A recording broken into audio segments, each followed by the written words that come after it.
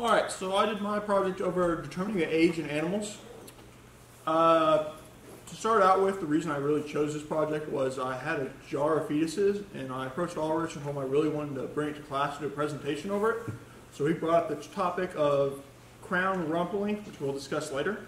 Um, when I looked more into this topic, I thought it was going to be a quick, easy presentation, but I learned that it is a very broad trop- topic that covers numerous subjects, which we're only going to touch on a few of those subjects today.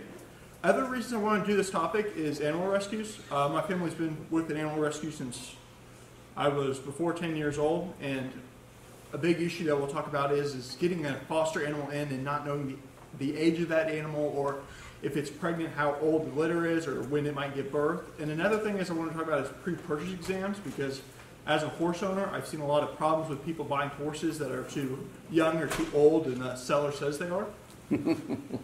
so that's a big problem. So start out with crown rump length in the jar. So one standard measure used in estimating fetal age is the crown rump length. So it can be used in any animal, but the conversion in fetal age varies in species and sometimes breed.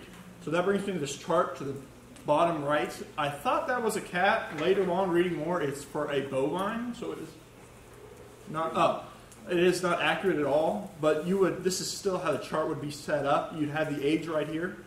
Um, the observations. This is just showing how much information they had and how relevant their study was, and then a minimum of the length, uh, maximum length, and the mean. So this is kind of what you would do is you put your fetus. This is a deer fetus. It was just the first one I found, and it kind of had everything I needed. So you'll go off from the rump, which is right here, and you go all the way to the crown of the head, which is the point of the head. The big thing to make sure is that you're not including that tail, because that tail is going to add a lot of extra length to it, which is going to skew your data. data.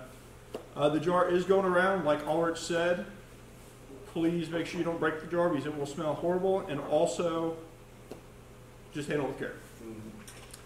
Um, so age determination in fetal cats. So I found this information pretty useful because it's something I've heard before in the past, but it really came to be really useful in this presentation.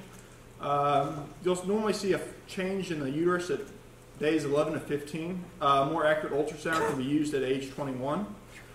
Um, does anybody know what this is to the right? What this big? What kind? What is this? Is this an ultrasound? Is this a CAT scan? Can anybody tell me what that is? This is an X. Yep, I heard it somewhere. This is an X-ray. So X-rays are really good at showing us bone. As you can see, here's the mother's spinal column right through here. Well, the big thing is to tell through here is that the bones of fetal kittens become mineralized at, at day 40 to 45. So as this is a cat, we can see these little faint marks down here. They look like just little dashes. Those are the spinal columns of the fetuses in there. Uh, next thing is an ultrasound. Uh, in case anybody didn't know how an ultrasound works, here's a picture of the probe that would be used. So important thing also is the probe tip, which is right there, would be up here. And it uses ultrasonic sound, that's why it's called ultrasound, to bounce off and then come back to the reader. Uh, as I've written down here, the bone is shown as white in here, so you can see chips of bone. And the liquid, like these dark spots around it, that'd be the amniotic fluid. Um, different shades will represent different tissue. Like see some of this gray tissue might be fat or other kinds of tissues. Um, and this one I believe is actually a dog, but cats and dogs are very similar. And you, it's pointing to the fetal heart here, but yeah, I cannot see anything in there. Um, so this brings me to the next point. It's kind of nice having the fetal rump on a deceased animal, but how can we use that in real life to help us out? So this is the story of Autumn. Autumn came to us in the fall of 2018, which was last year, I think it was about October. We rescued her from IACC. We got a call saying we had they had a rescue only animal, which means that someone can't walk in and adopt her. So someone had to go there from a rescue and hold her till she got better. Well, when we got there, we found out what the issue was. They had her as a limp that she had a bruise in her leg and that she was pregnant. As you can clearly see from the X-ray right here, that's not what I would consider bruising. That's a clearly broken bone. The big problem with this is you can't treat that broken bone until you have the puppies out, or if you drug that dog on anesthesia or anything like that, it'll affect the babies. So she actually, we had to just stabilize the leg until she had these puppies, but how are we supposed to know how long that's going to be?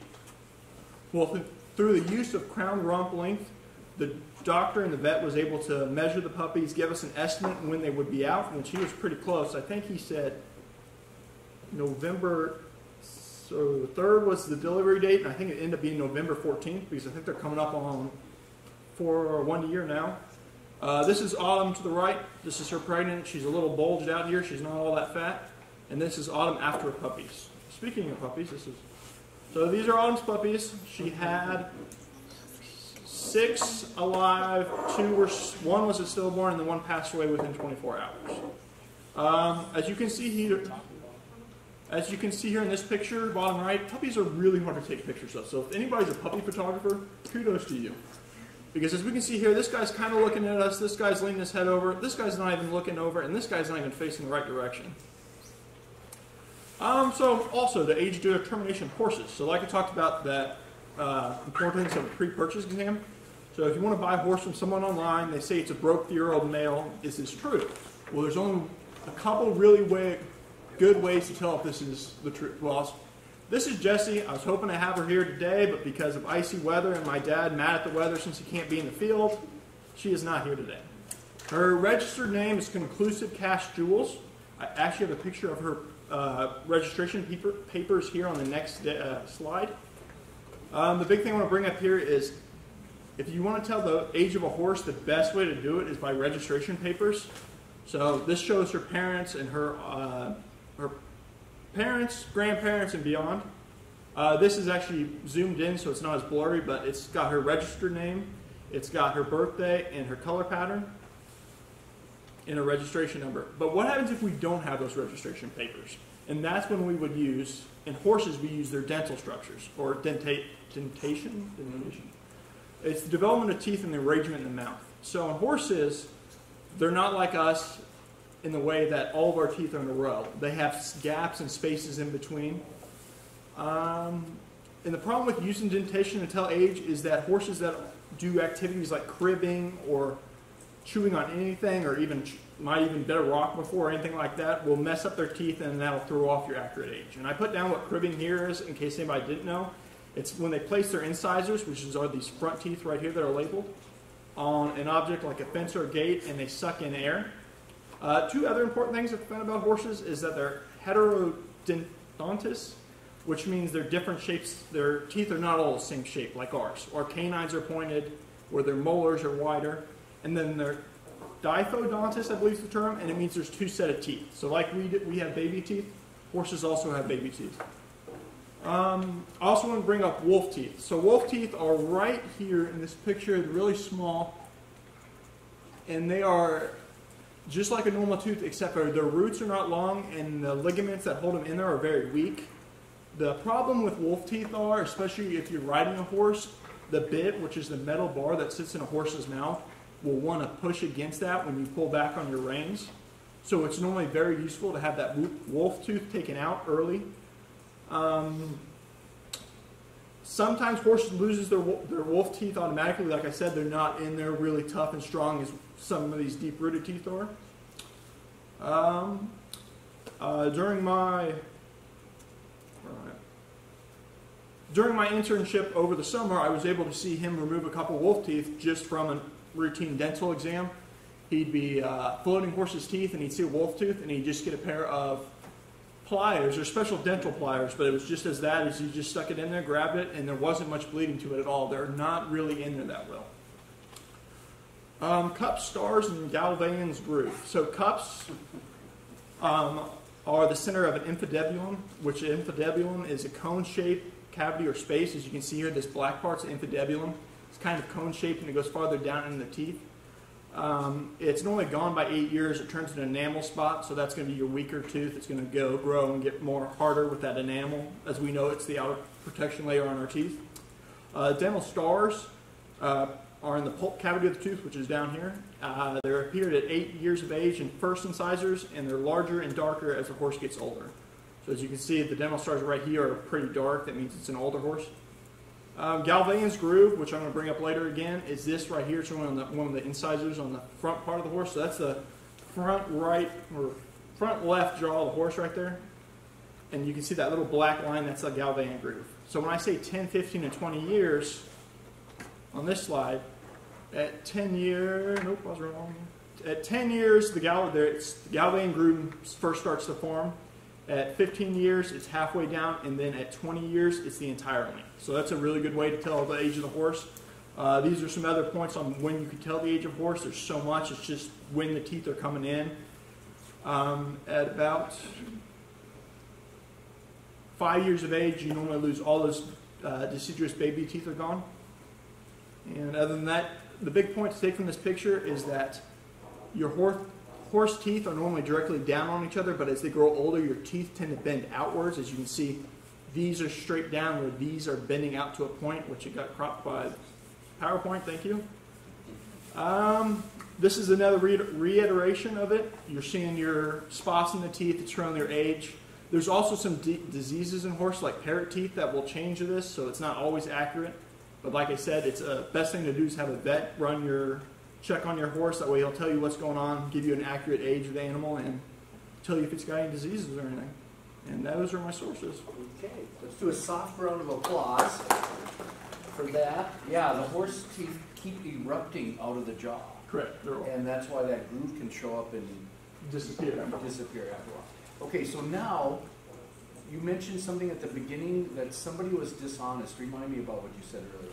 So when you're going to buy a horse, sometimes someone online will say, "Oh, we have this perfectly broke three-year-old mare. You know, it's been ridden all the time, trail riding, everything like that." When you could actually be getting an eight-year-old horse because just the condition of the horse doesn't tell its age too well.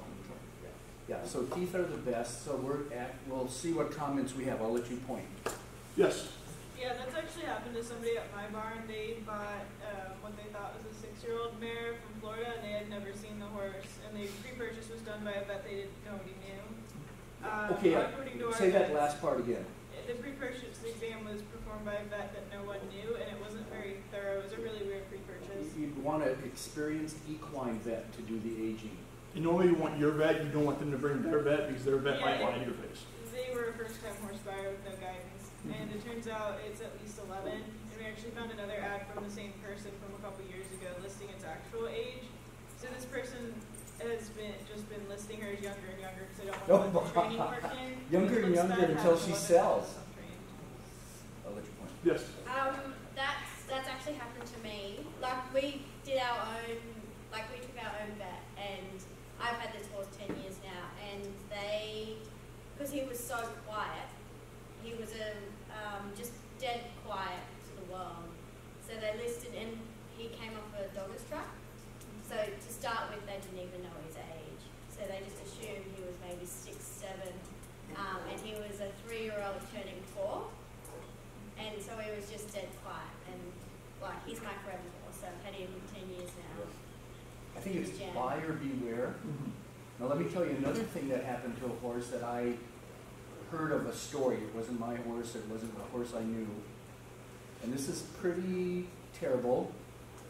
But somebody was going to sell a stallion. A testis was missing.